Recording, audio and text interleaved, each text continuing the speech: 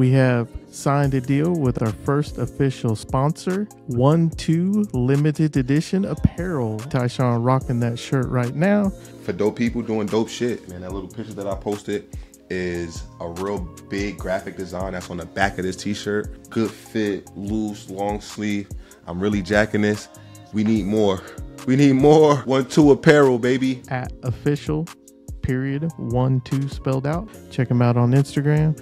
Help support him, man. Dope people doing dope shit.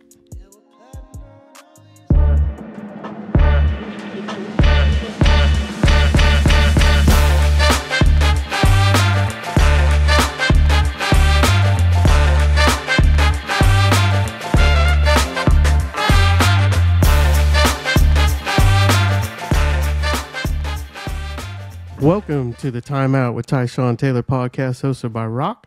I am Rock. He is Tyshawn. As you can see, we have a guest today. He needs no introduction, but we're going to give him one anyway. He was born in Kansas City, Missouri, played his high school ball at Bishop Miege, where he was a two time high school All American. As a senior, he averaged 24 points, six rebounds, four assists per game, earning him the Eastern Kansas League and Gatorade Player of the Year awards. He then brought his talents to the University of Kansas, where he won five Big 12 regular season titles, three league tournament titles, four Sweet 16 appearances, two Elite Eights, and a Final Four run. He finished his KU career with a 158 and 27 record, scored 965 points, ranked 10th all time in games played, and tied for 27th all time in steals. After graduating from KU, he went on to play five years professionally all around the world, and he's kind enough to take some time with us tonight. He is none other than Travis Releford. What's up? What's up, man? Thanks, thanks for having me, my man. Thanks for having me. Appreciate you coming on, Travis. Yeah, man, I did doubt. not know I was that close to a thousand though. God, bugs me. 965 is Let me- crazy, Let me, dog. let me go back and give me give me two more games, man. At least I know I got some eligibility left. Like, 965 is crazy. You right there. That's really Right like four or five on the door. games, bro. That's a At good week of basketball right there to get that thousand. At least, That's God. crazy. But all in all, bro, great career, man. Great, great career. thanks. Um, thanks. being a Kansas City kid, Missouri kid, I know, um, I know being close to home and being able to, you know, play your career, um, and be in your like, you know, your your glow, um, so to speak, um, that close to home in Kansas, putting on for the Jayhawks. I know that was dope for you. Um, for anybody that doesn't know, Travis was my roommate for the last three years of college. Uh, We yeah, shared the same the dorm last room three for years, the yep. last three years of college. So this is my all-time favorite teammate, hands down. It's not even close. Like he knows Yeah, me probably better same. than everybody. Um, we, um, shit, we just went through life together. I feel like we grew up Yep. together. we grew up Uh, I remember, sure. I remember, I remember getting to school early and Travis pulling up. Like we get there in the summer and Travis pulling up with hella garbage bags full of clothes and sneakers. And me having to go All downstairs, and this is my yeah, this is my first time meeting him. Is helping him upstairs with his shit, and I'm like, damn, dude, you got all these clothes, and I'm flying here, so I got two bags of clothes. He drove up, up whatever it is, I 40 seventy. 40 minutes, Yeah, he 40, drove here, so 45 he got minutes. all his sneakers. he got to bring all his gear with I him, all his everything. his whole house with him, and we helping him upstairs and chatting it up and stuff. And so again, Travis, uh, it's not even close, bro. My hands hands down, my favorite teammate that I played with at KU. Um, Same, bro. Same. and I'm glad again. I'm glad we get to, we got to get you on here. Rock introduced you, talked about your career. Um, we're gonna get into some of that. I know Rock got some more questions about basketball for you, and I'll kind of just piggyback off of that. But again, thanks for coming, bro. Appreciate you. No, thanks for having me, man. When you called me, I was like, hell yeah, I'm I'm, I'm in, man. Whatever, what time, just let me know. Yeah, for sure, so no question. growing I up in, that. in Kansas City, man, and going to Bishop Miege, was basketball your only sport, or did you play football, baseball? I played uh, football up until eighth grade. I uh, was what's crazy. I'm, I had this in my book. Football was my favorite sport growing up as a kid, and I only played basketball to stay in shape for football. yeah. And uh, I broke both of my collarbones seventh, eighth grade year back to back, left, right, and uh, I grew like five inches after my second break, and I just I was like, hey, I probably should just stick with ba- with basketball. Let me go ahead, you know. Bro, you broke your my- collar. You broke the collarbones playing football. broke both of my collarbones playing football. Uh, one year I was playing quarterback, the other year I was playing tight end. Fuck, And, uh, exactly why I didn't. yeah. Yeah. That shit. yeah, so I was just like, uh, both collarbones, my neck will be next. So I was just like, let me just go ahead and put all my focus into basketball, and then grew a few inches, and after that, my my height around basketball just took off after that. So when you were going through like high school, did you know like KU's my spot? That's where I want to go. Uh, early on, I, I honestly didn't have any idea because I was I was going to school and I had a lot of like attention going into my freshman year, especially being in Kansas City. Uh, I think the the next biggest name after me was was B Rush, so we got we got years in between. So I'm the next guy up in the city. So everybody, all the hype around that, and uh, KU's always been in the back pocket because they're down the street. So you you can't you know not have KU in, in an option when you're being looked at by all the schools. He said So, KU was in the back pocket. It's I know, crazy, right? 'cause yeah, that's- it's, it's right. It's right, literally right down the street. You gotta understand, like right down the street. I- yeah, I- no, I- you I know see- they watching you close, and you know what's going on over there too. I so feel you. yeah, it was. It, it it just came down to just being home. Uh, we didn't have the NIL rule, so my family couldn't afford to fly across country to come see me. So, and, and what better place to you know have a career?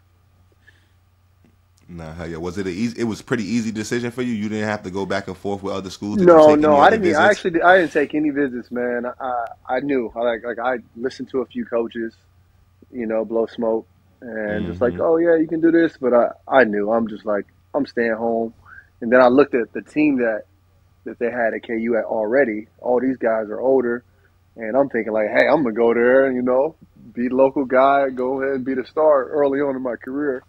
And uh, you know, that I panned out later lie, on. bro. I think, I think, I think we all thought that. I think, I think when I, I when I first seen your name on the roster, not just not having no real history, knowing who you was, but they told me you was from there.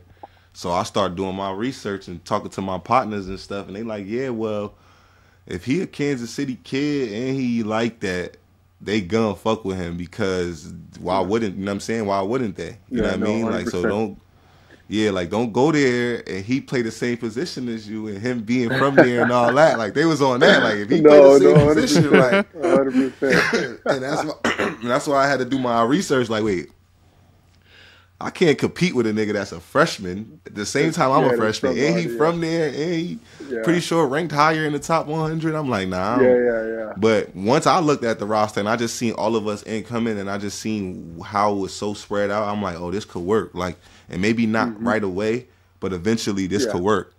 You know what I mean? hundred And percent. um, again, I shit, I'm happy. I'm happy you came. Um, I'm happy you was there. No, I no, I'm was an easy happy. I'm, I'm happy. I I uh, picked Kansas, and I'm happy I stayed because you know you know there was Yeah. a time where it's just like, man, I should go somewhere else, or Yeah, this tough. you know, sitting out that red shirt year with all the talent I had because I felt like you know I could have played early on, but you know how Coach Self is. He got to have that trust in you at a young age. You're age. the first person that not, came you on know, he here- somebody out there he can trust. You the first person that came on here that actually knew for sure they was going to Kansas. Like everybody else, like I had Mario Chalmers, I had Rio Little, um, even my story. We had Mm-hmm. Sherron. We all was like Sherron. going to different schools. Kansas is just kind of like came up. Like we like Mario. I don't know. I don't know what Mario. His shit was some something. I know you know little, real little. He out of JUCO. He was going to like Illinois or maybe even trying to enter the draft. Um, Chalmers wanted to go to North pretty sure was- Carolina. Yeah, Mario was North Carolina. Sherron was Illinois or something like that. Like so, we all had you the only you the first person, and I guess that's not surprising. You being a Kansas kid, it makes more sense. Like, Yeah.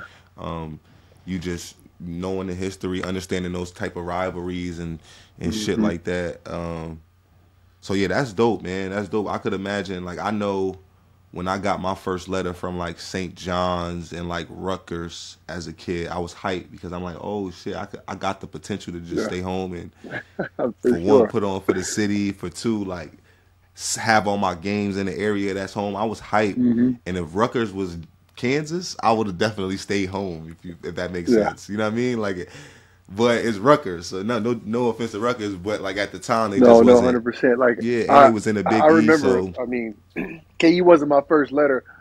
It was from Wichita State, and I'm telling you, man, I, I was hyped. I had the letter sitting on my my uh, nightstand. It was the hypest moment ever for me. You know, Yeah, it felt good At the getting time, that I- from the crib.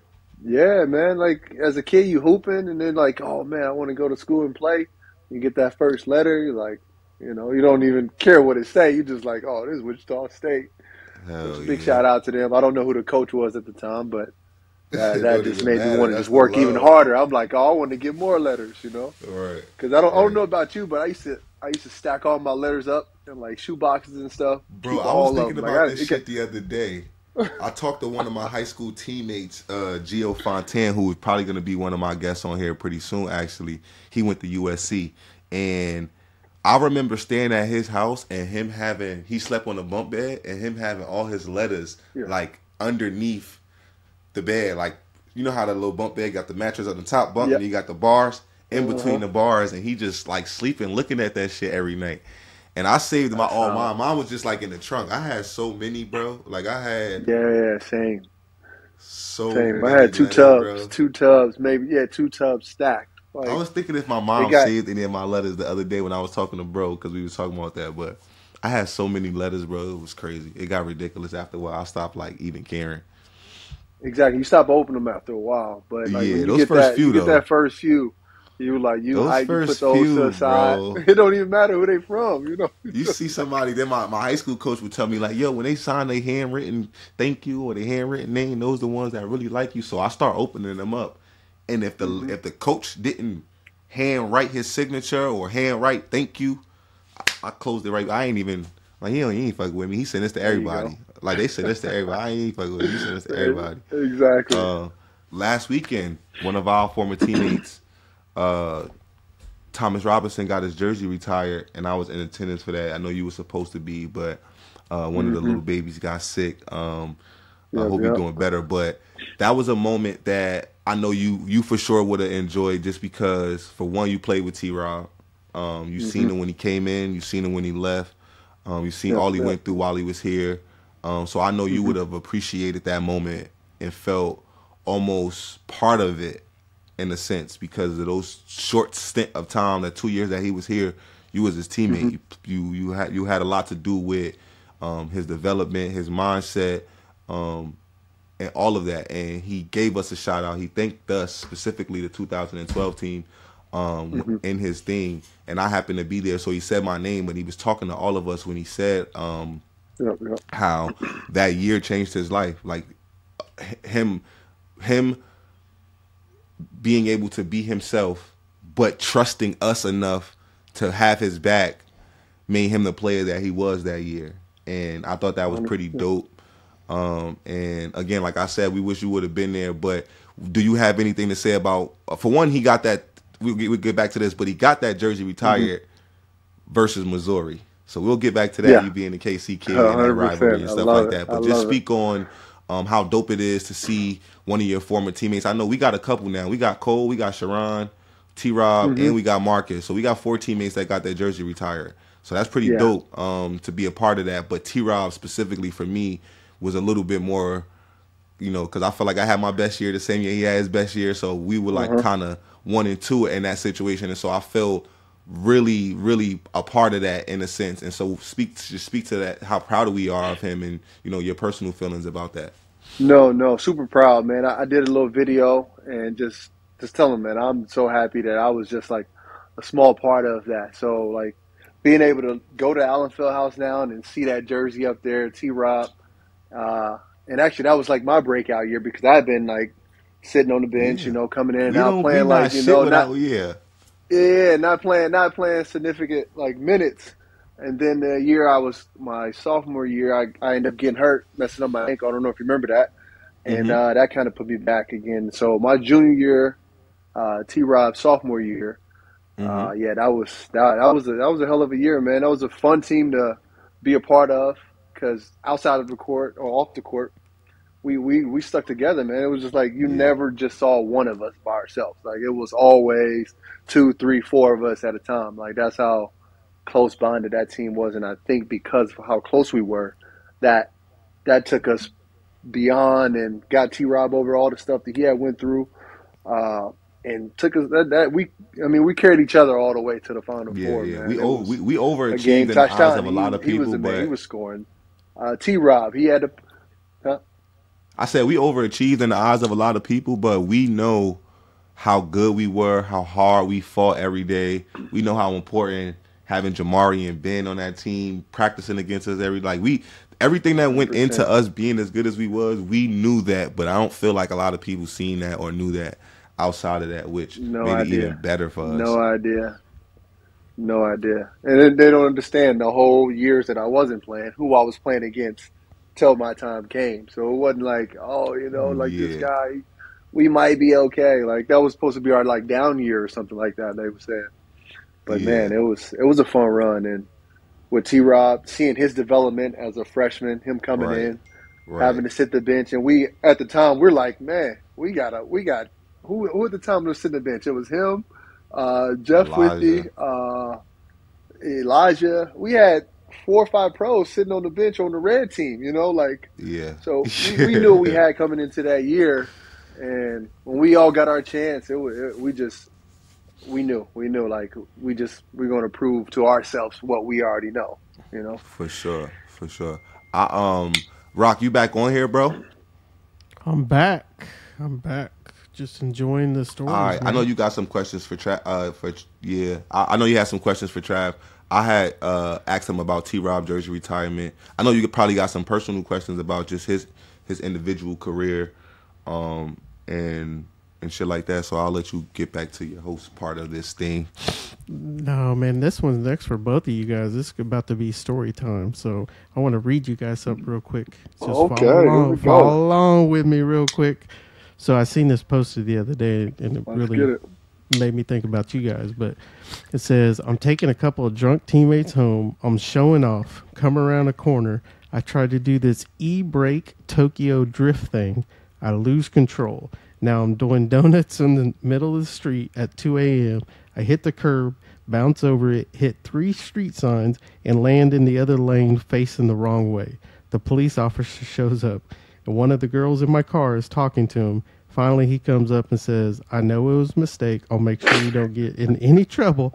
I just need one favor. I want two autographed Crosby cards. So I run into Crosby's room, grab the cards, a marker from his desk, shake him awake. I managed to revive him enough, and I said, Hey, I need you to sign these cards. You got to sign them. He scribbles his name half asleep. I go give them to the cop, and it's done. The next morning, Crosby comes down for breakfast, and he's got marker ink all over his face and his chest, everywhere. And he thinks we pranked him. And so he gets even more mad when I tell him the real story of what really happened. And so that was from uh, Max Sidney Crosby's junior hockey teammate roommate, right? So since you guys were roommates and we passed the statute of limitation on most of the laws in Lawrence, Kansas, Wait, Let's his hear some junior stories high about school, Travis and his Tyshawn. junior high. Mm-hmm. junior hockey, junior hockey. That So I was don't from know. Sidney I'm not a big hockey Crosby's guy, so I junior don't know high how teammate. Yeah. His rookie, his junior junior hockey roommate. These niggas drunk says. driving So at, I don't know what age. in eighth grade. I don't I know, know, what right? age that was. I don't know what age that was, but They So- wilding out in Canada. Where the fuck they play? They in Canada. Trav, they- okay. they get- I'm glad you said. Okay, this is perfect. Speaking of hockey so in Canada, this is a perfect segue. This is a perfect segue. Yeah, it is. It This is a is. perfect 'Cause segue. that was our first. That was our first. You know, outing. That was our first. This is our first time us like hanging out together. This is a perfect Yeah, segue. So freshmen. I don't actually know if Sidney, Sidney Crosby is from Canada. I just said that in reference of like hockey and it being a big sport. So and with the story time, me and Travis, I don't even, we actually weren't even roommates at this time. We just were No, no, freshmen. We, were- just yeah. were young I had the other Ty, Ty, Ty, Ty Appleton. Ty Shout out to Ty. That was my. Shout that out was to my TA. first roommate. Yeah, Yeah. for sure. Um, so we um we have a preseason tournament in Canada and like Quebec or Mont. It wasn't Toronto. It was like Quebec or like Montreal, Mont, some, some something. It was like a small. We was in Ottawa. We was in Ottawa. Ottawa. Yep, we went yeah, Ottawa. yeah. Okay. I remember. So we went to Ottawa and we play a couple of like exhibition games, and mm-hmm. we are about to go home the next day. We're out. We got. I balled out too, by the way. I don't, I don't want to interrupt you. I balled out over in Canada. yeah. You played good, I don't know if you remember that. I just remember. I remember the Twins I not don't know if you playing. remember that, but I. I don't remember how good. I don't remember how good you played, but I remember the Twins not playing and everybody coming back feeling very confident about them not playing. Like we felt very good about where we were. Like I remember that. Like Yeah. coach was like, "Oh, we're fine." Like you know what I'm saying? Like this was his first time seeing a bunch of like all of us play, and I remember him coming Yeah. back feeling okay about what we had done. I don't remember how everybody played. I don't even remember how I played. I just remember him Yeah. feeling like confident in us. Um, but I believe it though. I believe it. You had a lot of confidence out that time. no. You, you Uh, again, you young. You coming, out. Coming from from coming from high school, being a man. I'm pretty sure you ranked Mm-hmm. higher than all of us coming out of high school. Me, except for maybe Marcus. Marcus might might have been higher, but me, Keith, uh, Quintrell was the other freshman at the time, and then you had Mario and TA coming Mm-hmm. from. You you were the you were the you know the one that people were talking about, and then For we just in Kansas, so everybody known you. We'll get to that too. Yeah. Um, just about like off the court shit. Like when I came to Kansas talking about Travis, and that's my roommate. Like how all of the girls reacted to that because you were the man, and they heard about you from when they when you played against their high school over there. And all- you know what I'm saying? so Yeah, now all of the girls that's sure. in school with us, like that's that's they know who They you all are. went to different shit. Anyway, but let's schools, just get back to this sure. Canada story. So we go to Canada. we win. We win a couple games. We come back to the hotel. We get dressed. We go out to eat. Um, we got time. We don't have nothing to do. We don't have like a real curfew or anything. We just kind of free. So we go into this little club. Now in Canada, it was like nine. I think it was nineteen, right? You can get into Yeah, the club 19 with was age It was like nineteen. to get in the club and drink and stuff. Me, Travis, and the other freshman Quintrell Thomas are all eighteen. It was 19 or something like that. Yeah. Yeah, we're all 18 at the No. time. So we showing our IDs and they not letting us in. And I remember while we at on the line, there's a guy like, "Oh, you guys can come with us. I'll get you guys in this place. Don't worry about it, or whatever." Oh, I know where this is going. So we follow this guy. We don't know who this guy is. And I'm gonna tell you what I was thinking. I'll hmm. let Travis speak for himself. I'm gonna tell you what I'm thinking. I'm with Travis, and Quintrell's bigger than both of us. Quintrell was like six eight, Yeah. big, and I'm just like, man, Yeah. this little white guy, like this was like a little ass white dude. Like he was like uppity and shit, but I wasn't threatened. I didn't feel Yeah. threatened. So I'm like, all right, No, no threat at we all. out. I'm like, we uh-uh. out. So we jump in like a cab with this guy. We're driving. This is when it starts getting sketchy. Cause we driving and then mm-hmm. it just go. It gets dark. Like we driving over like a bridge or Yep. something. We driving over like a bridge. it was like 40 we minutes. We were like 40 minutes away from where we were at. we were not Like, it close. was- it we were driving for away. a while, and then as it started to get dark, I'm like, "Oh shit!" And then I remember like a bridge, and once we get over the bridge, I was just kind of seeing some lights in the distance, and we pull up to a strip club. It was like an 18 and over strip club. Mm-hmm. Now this is oh definitely Oh my my, gosh, first. This is definitely my first time at any strip club ever. my very first time ever in my life, and I'm happy to be The in very Canada. first time. So I don't know the rules. I don't know the policies. I don't know nothing.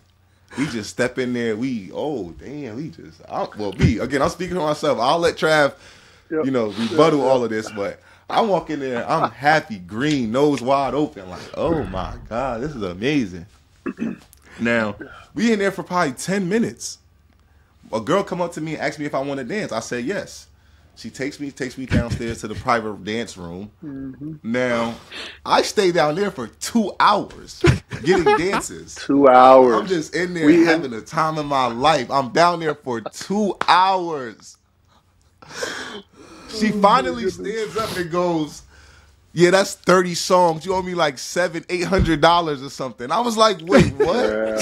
Yeah. I was like, "Wait, what?" I was like, "I got two hundred and fifty dollars on me." I was like, "I got two hundred fifty dollars." That's What do you supposed to mean? Why last did me the whole trip.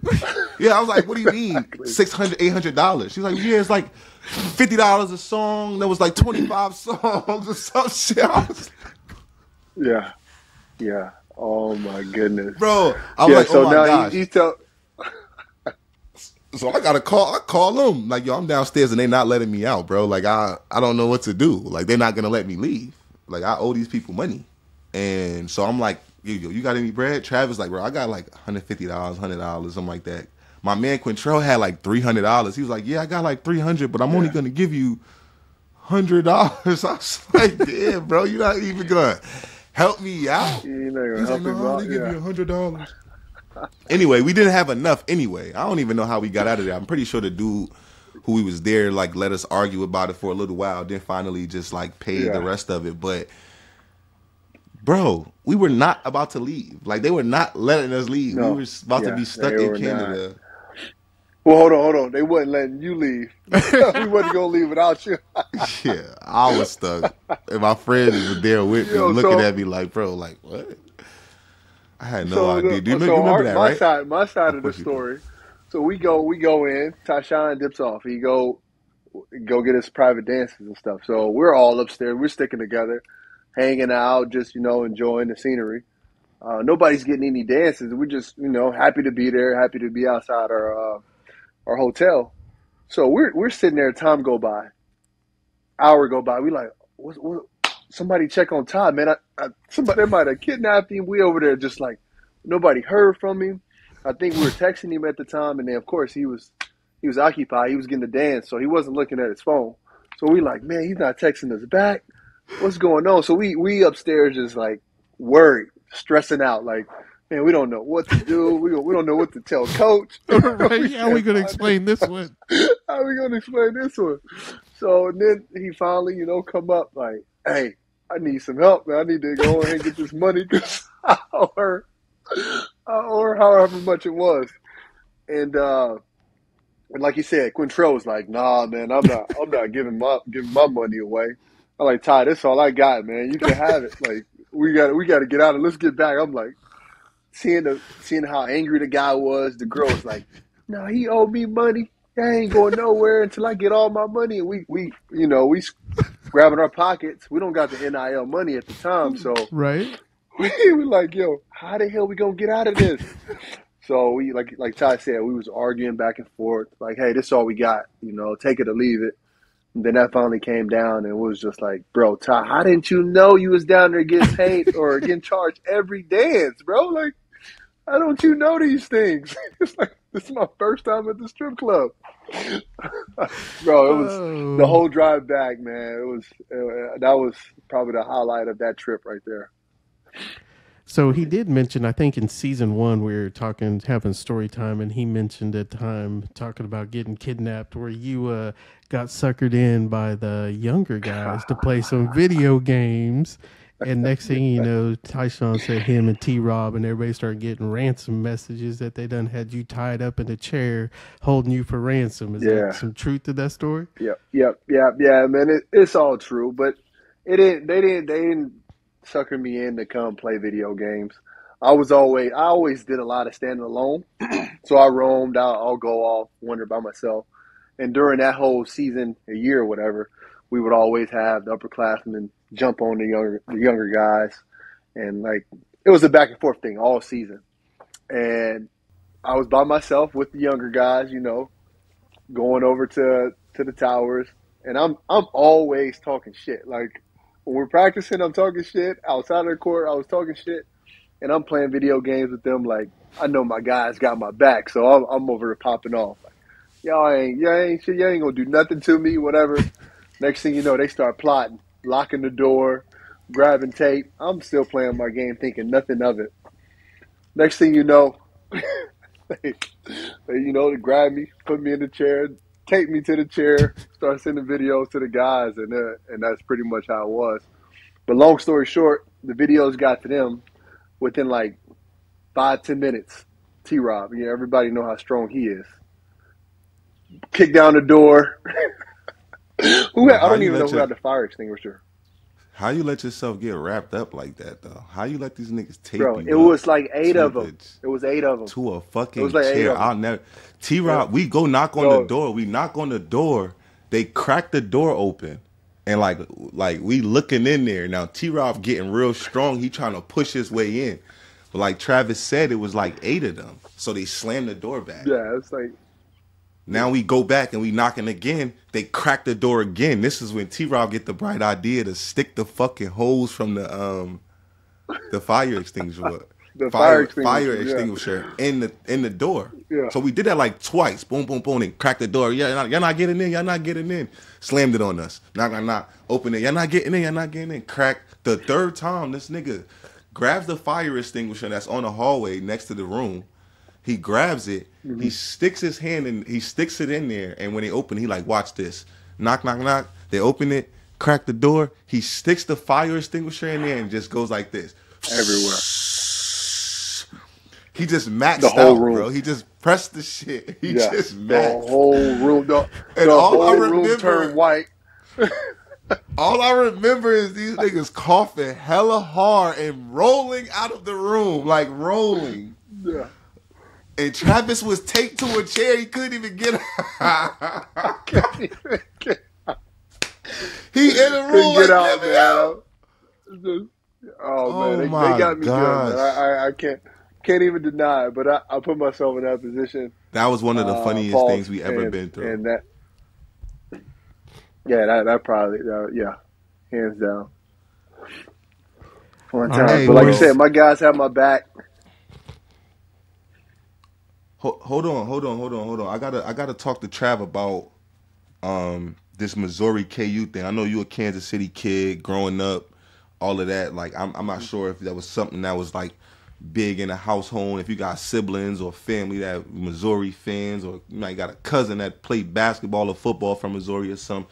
What type? What what does that mean to you personally? And then just being a part of it, you know, for those five years or four, I guess four years, um, you were able to be a part of it and Yeah. then us winning that last game the way we did like how how how how do you feel about that have you ever you know watched that game again since you played in it or like like just the just the feeling of of that rivalry Uh, well, being a Missouri kid, you always hear Mizzou, Mizzou. Uh, they had what? Uh, one of the one of the Rush brothers went there, and so I, and again, I'm young. I'm looking up to all the Rush brothers. You know, UCLA, uh, Mizzou, KU. You know, seeing it, seeing those guys' success. Uh, yeah, no. So that game meant a lot. You know, being able to be from Mizzou, I mean, be from KU. I mean, being being able to be from Missouri, Missouri kid playing for a Kansas school and then competing all five years. Also had teammates that played for uh, Mizzou. They they played on my AAU team. Marcus Denmon, Right. Mike Dixon, right right uh, Steve Moore, all those guys. I I like, I knew like we all we been to war and back together in on the AAU circuit. So it was no hate towards like the players, but once you Yeah. find out like the history and you you, you see the the backstory on like Shit. way back Fucked when up. and why the hate is there, bro. Like Yeah. you you don't need no like pregame speech to go out there and play in that uh, game. Like I'm Right. getting the chills right now talking about it because I I mean like if we were to play tomorrow, like I'll be ready because that's Right. how it was. Like you don't you don't need no pregame talk for this. Like they show you the history and why the the the hatred is, is between like the schools and the state, and you just get out there and you want to do everything you can to make sure you know you get that win for everybody that support the Jayhawks. right Do you then guys one more last remember question before kind of like some of the Rock some of the talks were run away with his No, so I was just wanted to keep going on the Missouri thing. Do you guys remember during that game, like some of the talks in the huddle from either coaches, other players? Like, obviously, the big comeback, we know how it ends, like it should, right? But in I, that moment, I remember when you guys are down that much, like what was that? What was that like for you guys? Because I mean, honestly, how many times have you guys been down that many points in Allen Fieldhouse? Probably never. Yeah, Nah, we, to I mean, sure. we, we came, yeah, we came back a, from a lot. Like, like that season, a lot of the victories we had were comeback victories. But I Mm-hmm. don't remember Yeah. a margin that big, and I don't remember a margin that big in the field house like damn near ever. But I Did also you guys remember feel any vividly. Did you feel any pressure? yeah, that was for a No, 12 not really. I'm be honest, though. not Yeah, that too. But uh, we all like I don't know if this is speaking for me. I always, even when we was down eighteen, I felt like we was going to win that game. Like, Oh yeah. for one, yeah, we for knew sure. that they weren't going to shoot shoot as good as they did the first half. we Mm, knew that, that they're going to come down to reality a little bit. And we just like, did. no, we in Allen Fieldhouse. We don't lose here. Like we No, that was that was my whole here. thing, So bro. Ain't no stop, way stop, we stop looking at the here. score. Stop looking at the score and let's just go hoop. And that's what we did. We talked to each other in the huddle, like, hey, don't look at the score, Coach Self. Hey, don't look at the score. Let's go out there and play ball. The score's gonna take care of itself. Next thing you know, we're we're eight points away with what four minutes left. And this, that's a whole. a that's a game bat- I was point. like, oh shit! you look up and you down eight ball with game four minutes. point. Oh, we trained for this. four- we got yeah. two minute drills Yeah, and all yeah. type of shit. Like, Yep. like we we be we position. We have practices that we just work on situations where you're down seven Yeah, with a minute left. What are you mm-hmm. what are you gonna do? Like you you up exactly. five with three minutes left. What are you gonna do? Like Exactly. we practice situations like that. So mm-hmm. You look up and you Yeah. down five All the two time. minutes left. All oh, you like time. oh shit. Oh, they fucked up. Yeah, we we we said we took a deep breath and like, oh, this they they let us back in. It's it's over for them. We knew we knew when we got it down to single digits, we was gonna win that game for sure. It was too much. We never time thought we was Yeah, gonna lose, but when we yeah when we saw double, single digits, way too much time on the clock.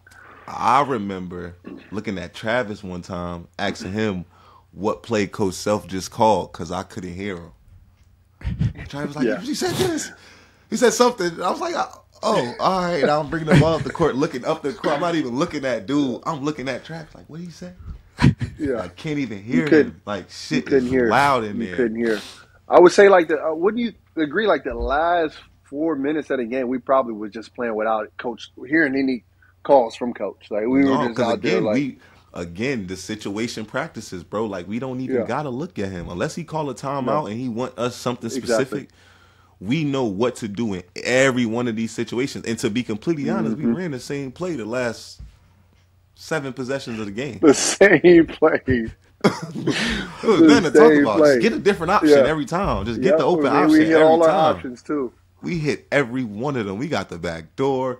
We got the Yep. handoff to the, drive to The the, dump off, the back screen We- on the other side. And the back screen three, we done. I'm like, oh my Yeah, god, he sure. a mad scientist when it comes to shit like that. But yeah, never Yeah. panic in those situations, bro. And again, we had been there.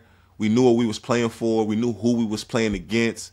Um, Mm-hmm. so it, was it it it really meant something. Um, it really meant something. I think just I think just the whole history behind that KU uh, Missouri rivalry, them going to the big uh, uh, SEC that year, it's SEC, supposedly yep. being the last time that we were going to play against each other in that setting, um, made that game so much better. So much better to play in, so much better to win. Mm-hmm. I'll never forget it. I watched that shit like ten times since I played in it on like YouTube or something like that. Like it was, it's ridiculous. It's a ridiculous game. It's still probably one of the best Yeah. games I played in. I sometime I don't know, like not sometime thinking about it, but when I'm thinking about basketball and I think about that game specifically, I, I don't. It, it's surprising how we won it because they were so they were Yeah. hitting everything. T. Rob was in foul trouble. Couldn't Jeff was miss. hurt early. Yep. You know what I'm saying? Like it was just everything was going wrong for so long in that miss. game, and we just figured it out. And Yeah. that I mean, that's who we were all year. That's who we were all year. Um, Mm-hmm. And again, before Rock gets on his whatever he got to say next, I want to talk about moving forward. That was one of our last games before we made that run into the NCAA tournament, which ended Mm-hmm. up being a national championship run. Um, I always say you and Elijah, obviously Jeff defensively, but you and Elijah were our better players throughout the six games that we played because I didn't play good until North Carolina and I didn't play good after that. So I didn't play good until North Carolina, which was like the fourth game. I don't think I had another good game after that. Like in my mind, the whole time I'm doing enough to get drafted. I wanted Yeah. to win and I We wanted to play good, but we winning and I'm they able to see me again. You know what I mean? And so Mm-hmm. I I just know I like I was playing really good and then we got to the tournament and I didn't shoot it that well. Shit was happening, but we were winning games. But I always say that you and Elijah offensively, you know, made big shot after big shot or big play after big play when me and T Rob didn't have things going. Obviously T Rob didn't have to score the ball to be effective. Like he, he'll get he'll get Rebound, 17 rebounds. You know what I mean? defend, Block some yeah, shots and shit like that. But me specifically, like my energy is there and running the team. But if I'm not scoring or making plays, it almost looks bad in a sense. And so just me not having the couple of good games that I had, and then watching Elijah hit big shots or making plays, and then you defending, guarding motherfuckers like Harrison Barnes and all type mm-hmm. of people you had to guard because you were our guy to do that that year. Um, how how did you feel going through that that Final Four national championship run, um, being a part of that? Well, you know, going into that whole year, just like you know, this is my time. You know, like mm-hmm. sitting out, not playing as much as I would have liked years before. Every game, I went out there with a chip on my shoulder. Like I don't know if you noticed that, but you probably Hell did with, yeah. with my play. Like Coach Self didn't have to tell me that I was guarding the best player. He never had to tell me. I knew. Like that's the the challenge I wanted to take on. On top of that, like as far as scoring, I was uh, built a lot of confidence over the years being on the red team because I got to you know play against you guys, shoot all the crazy shots I wanted to. Just so play. all that stuff just carried on. Like a lot of kids don't do that now because you can transfer, but I think that red shirt year was the one of my best years as far as like improvement. I had got stronger, built a lot of confidence. my shot got a lot better, mm-hmm. and like Todd said, making big shots. Uh, and was, I was I'm just ready for that like moment. Big play, yeah, just big plays, yeah. bro. Like, and again, it. It's not shit that's gonna jump off the stat sheet, but yeah. if you watch those games or just understand who we were as a team, you could see that.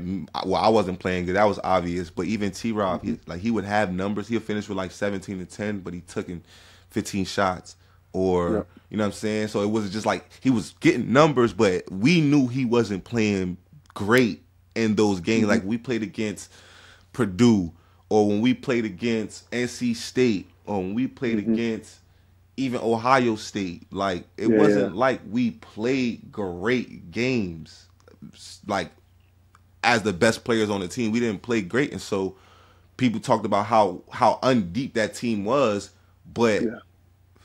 our top six or seven could have played with anybody that year. Maybe after that yeah. it got dark, but our top six with Connor coming in shooting the basketball the way he was able to. You guarding people and then having those spurts offensively that you had and when we mm-hmm. needed. Elijah just being like consistent. He was so consistent that year. Like me and T Rob yeah. was all like T Rob was T Rob was like this. I I did pretty well for the most part, but that was the most steady and balanced that I've seen Elijah play ever. Like mm-hmm. consistently over games. Like every game you can depend on him to be solid yeah. for the most part. And 100%. Uh, and and then Jeff obviously Jeff having that anchor back there, oh my God, that was mm-hmm. huge. KY with those spurts of energy, those spurts of minutes when T Rob would get in foul trouble, or if T Rob just needed a minute to get his head together, and then we got K Rob, mm-hmm. uh, KY coming in with these spurts of energy, getting putbacks and offensive rebounds and shit. It was like perfect. It was like a puzzle, and every piece just kind of fit perfectly. Everybody did their own thing, but together it was like, okay, we got some here and I yeah, it was it was one of those it season. was one of those situations where everybody knew their role and they played it well. Like everybody knew nobody stepped out stepped out of that out of their boundaries. Like I knew I was going to go in and shut down whoever the top scorer was. You didn't have to run the play for me to go get 12, 15, like right. you said, a game wide breakout, get 20 plus. Like it, we just knew Kevin, come off the bench, be that spark, be that guy like everybody knew they role. Like we knew Tyshawn and T Rob was going are our leader scorers. We're gonna look look for them, ride ride that wave, and if they don't got anything going, hey, I got to step it up. Elijah got to right. step it up, and right. and that's what that's what got us over that. You know, got us through that whole season. It's so crazy because.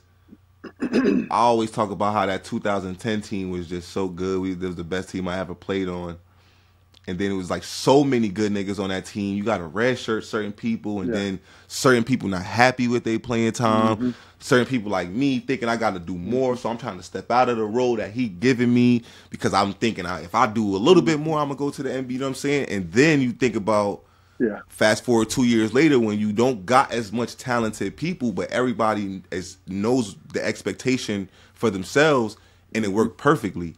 And it's almost I say that to say it's almost a good thing in the sense to not have such a talented fucking team so much because I remember that 2010 yeah. team just being so good. Like you and Mario having a red shirt, X and Sherron thinking that it's their team, and so them playing good, but in moments where we really needed them to be on the same page, they weren't because they wanted to do their own thing and shit like that. And yeah.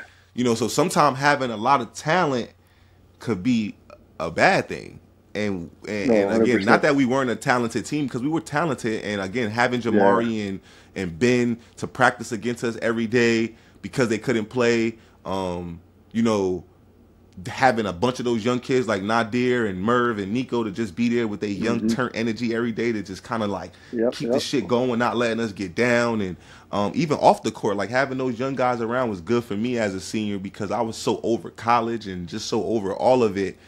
So to mm-hmm. have Nah and Ben and all of these guys yeah, happy they, about this shit all over yeah, again. Yeah, they came in with that that fresh energy. Yeah, you know, happy it kind of like yeah, ah, sure. yeah, it kind of made uh-huh. me like okay cool this is cool i can i could do this and then they put me in a different role you know i was a, a leader so they were also watching us and so um, that was definitely the best year of my life as far as a basketball player just as far as like experiencing that brotherhood and um, i really got to you know be who i was in full aspect on and off the court as a leader vocal being a vocal guy and then just having my play show for me. And um, yeah, that was a great year for me, bro. And uh, again, you being a huge part of that, being my roommate, and I also always talk about that 2010 year too because you redshirt, and I remember being good, and and when I say good, like like playing good in the sense of like I'm playing, everything's going good for me, um, and then coming home to you and you being so positive all the time and so uppity all the time and mm-hmm. still having a smile on your face, even being frustrated, knowing like damn, I, I should be playing and could be playing. I think that because again, my sophomore year was my worst year. It was the year that I thought I was should be doing more, and he thought, yeah, now nah, we, you you're good here. We good with you hat right here. And I would be complaining, and then I would go to the room and see you like playing the video games or up and, and happy and yeah. I can't complain to a nigga who really life, supposed to man. be playing. Yeah. And no, 100%. I always tell people, 100%. bro, you were like the perfect person for me to be roommates with at that time in my life, bro. And then obviously, you know, going yeah. through shit like having kids at the same time and, you know, going through mm-hmm. life together.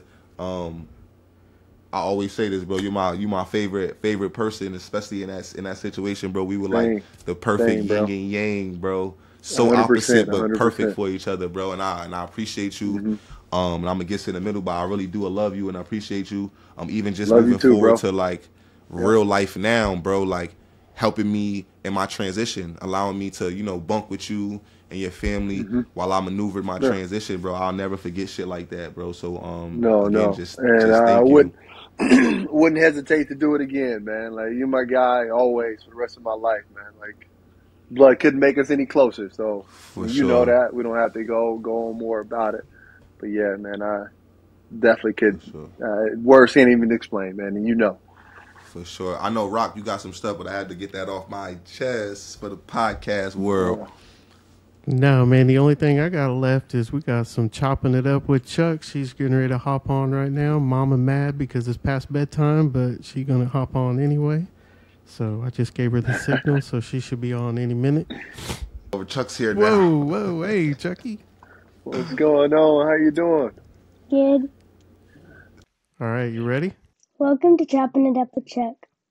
We are going to play Would You Rather. the rules are simple. I'm going to ask you a question, and you have to choose an answer. And if you don't, there's a little twist. There will be a punishment. That punishment is an up and down basketball court. You must video it, post it, and tag the podcast. You ready to play Would You Rather? What's the punishment? What was just the, we just we just yeah, got to run. the punishment? You have to run up and back. Oh, up and oh, back, okay. and we got to record it and then tag the podcast. Down That's if back. we don't answer the question, though. Okay, cool. That's fair. That's fine. I used to, I used to do twenty twos before boot camp. No, yeah, light work. That's easy work. that was another story we left out. But would you rather have whatever you are thinking appear above your head for everyone to see, or have the ability everything you do live stream for everyone to see? I would rather have I would rather have everything I'm thinking shown above my head because I can almost I can almost control my thoughts opposed to having what I'm doing live streamed all the time. So what she said, Trav, I don't know if you heard it. She broke up, but she said, "Would you rather have everything that you're thinking appear above your head so everyone can see it, or to have everything you're Mm-hmm. doing live streamed for everyone to see it, or do or to see it, right, Chuck? Something like that." Yep. Yeah. Oh, for sure, everything above my head for sure. Yeah, I kind Um, of got the powers to control control what I think too as well. Yeah, Yeah, I'm can- going with I can above my head. I don't more. think about much anyway besides gambling and sports. So ain't nothing going on up there. bunch of crickets. Oh, that's funny. Would you rather be married to a 10 with a bad personality or a 5 with an amazing personality? That is Chuck, why are Can you we fix asking that us questions like this? Well, I'm the only I'm one gonna- that's, that's not an married easy one. here, so That's I'm an easy one for me because I'm married t- to I'm a married 10 to a 10 with a great personality. with a great man. I love it. personality. Ain't that right, it. Travis? Yes, We you got the only two. We got the only two. Ain't, ain't nothing I would change. I got lucky. Great It's a jackpot. answers, bro. Great answers. Because I was sending this straight There's only to the two. There's only two. There's only two in the United States. Travis got one, and I got the other. I got one, Gosh. man. It's a wrap for you know how it happened. Wow. so I can't answer So, that. Chuck. Tyshawn? I'm, I'm gonna. I will run, and I'll send it to you. I will leave this for the married guys. Would you rather get a suitcase that has $10,000 or a suitcase that has a 50 50 chance to be $1,000 or $50,000? So guaranteed first one? ten thousand, guaranteed ten thousand, or risk it to try to win fifty thousand, but you can end up with only a thousand. All right, so yeah, so you either get a suitcase that has ten thousand. I'm thousand in taking it, the or you, chances, man. I'm taking the chances. yeah, I'm a I'm a gambler for sure. So I'll, I'll rather get the fifty, Or and you, if not, I still got a I'm thousand, so I can flip that and make the ten. Nothing. Either way, I'm I'm I'm leaving with more than I came with. Either way, Either way, I'm taking the yeah, I'm gonna take the I'm gonna take yeah, the I'm- chances. You know Chuck. me, I'm. Ge- yeah, you know me, I'm I'm, gambling. Let's go for it. Would you rather have a five minute conversation with your past self or a one minute conversation with your future self? Oh, mm. five minutes with my past self for sure. Yeah, I would. I would only five minutes two, with my honest. past self would change the rest of your life, right? Oh yeah, my yeah. goodness, that, that'd be Yeah. it. Yeah, for Yeah, that should have changed everything. Yeah, for sure. Five minutes with my don't know, past man. I kind of want to see what's going on in the future. Not me. I'm gonna go look at some lotto numbers from like 1992, and I'm gonna give them to my past self, and then give them to my mom, or something like that. I'll go back and change history, bro. With a five minute No, talk to myself. The shit that the shit that I know now. Dang. If I knew then, if I knew at 18 or 15 or 22, Uh-huh. I'd be Elon Musk out this bitch. Same. Man, y'all are crazy. I want to know what's going on in the future. Nah, nah, bitch, you gonna find out. in a second. Exactly. You'll find out. Oh man. You're gonna find out in two seconds. Chuck, what else you got for us? That's all? All right, that concludes this episode with Chopping It Up with Chuck. That was a good one. I like that last one a lot, Chuck. That's it. Thank you. Now go to bed. It's past your bedtime. It is Night, past your bedtime. Thanks, Chucky. Bye. Um, yeah, for sure. Trav, you got anything? I know you said we forgot to talk about a boot camp story, a 22 story. We got what you what you was what you was about to say when you had to run before boot camp. We got in the Oh, when you got in a football fight. All of this shit happened. I know we we could It, we it, could it, talk it for ain't a long story. It's just short. So, were you on the team then when I had to run before boot camp? Uh, was that was it 2000? It wasn't 2013. It might have been. It might have been your last year. I don't feel like you Ah, was in. no, I don't remember. You was a good. You wasn't never in. No, yeah, you were there because I remember the twins been. No, no, Oh, the but this. was there then. listen, hear me out. This. Yeah, the twins was there there still, so you were definitely there. Uh, but no, I had went out, went to the Hawk, and uh, okay, sounds right. This coach, sounds I went out past curfew, and uh, Coach Self comes in. Was it the day? Yeah, the day of practice. It was like, yeah, uh, r- uh, raise your hand if you if you didn't make curfew. And nobody nobody raised their hand. I know I was out the night before. I'm like looking around, uh, you know, didn't say anything. He said, "Well, this is what we got here." so cool, nonchalant. Like, yeah, so this is what we I got can here. see this now. We got, we got, we got Trav clocking out of the Hawk at uh 125, and I'm looking around like, how the hell he noticed? Like, how did he know I was in the Hawk? Yeah, this when you found out he Uh, knew so he everything, like, huh? yeah, so this is what we gonna do. Before before boot camp, he need to run uh, I think it was like fifteen or 20 22s before boot camp started. Boot camp started what, like five forty five or something like that? yeah, we got to be dressed. We got to be on the court like 550, 5 yeah, 545. Yeah, yeah. So he was like, shit. he needed he for the, for for the rest of the week, he got to do 20 tw- 22s before boot camp started. So I'm up an hour and a half on the court running before they come in the gym. He But anyways, I found though. out, uh, Brendan. Yeah, light work, light work, and uh, yeah, one of It one of my former teammates snitched on me, man. He, he told Shard told on you? Told me, man. Yeah, he told. He said I was at the hall. Bad I was. business. I had a great time too. Hey, I ain't gonna lie. Travis probably more than anybody that I know or was on my team took full advantage of like college life.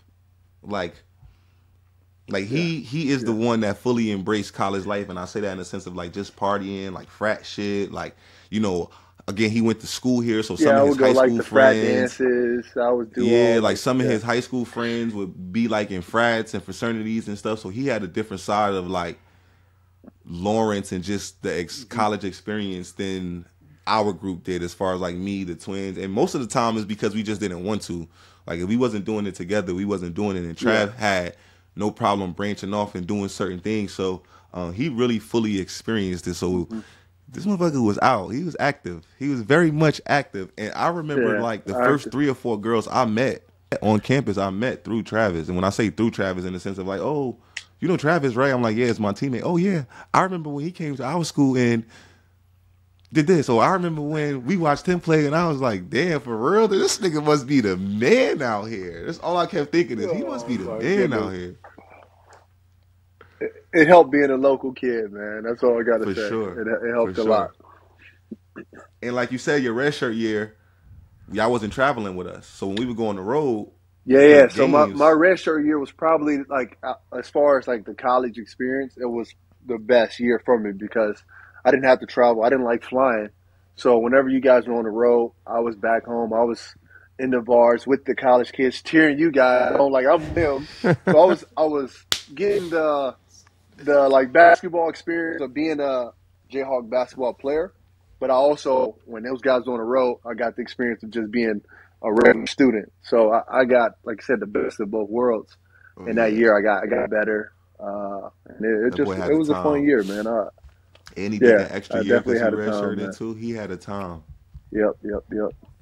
I ain't mad was at it, but um, again, bro, I appreciate you for giving us your time. Um, and thank you for coming to talk with us. Uh, yeah, No problem, I'm man. good Thanks with for that. having me. Yeah, for yeah, Thanks no for having me. problem, bro. This was good. Appreciate it. Anytime, Appreciate you, anytime. I'll let you know when I'm in town, man. We can get together. Yeah, pull up on your boy, man. I missed you last week, and that You was cool. We got know. to see Mario. We got to see um, we got to see Merv. Uh, that was Yep, I good. saw, I saw, I saw y'all on TV, man. obviously, Heartbroken. I'm like, T-Rob. ah, I should be there. Yeah, man, that was good. But we got some good games coming up. I'm sure you'll slide back through. Um, holla at me, man. The last time, the only time I went out with you three, man, I wasn't right for like a week and a half, just by the for the record. Stay away from us, bro. Shit, we old, Blame bro. Todd, That, blaming Todd, man. yeah, we we do shit like that. We do shit like that when we see each other once a year, bro, and so it'd be necessary. But you know, Trav home right now with with, with the It's definitely babies. necessary. You know what I'm saying? Trav home right now with the babies. I was talking about Pop on my last episode. Um, yeah, we dads, man. We dads doing dad shit. You know, enjoying the second part of our life because basketball took so much of the first part. Enjoying life, man. Respectfully, but you know, we are we are you know embracing and enjoying the second half of our life, man. And we're doing it with smiles. We're doing it gracefully. We look good doing it. We ain't Mm-hmm. Oh, look like sure. no old ass Hell yeah. washed up niggas. We are good. Not at you all. know, so um, I'm happy about Living that. life and enjoying you it.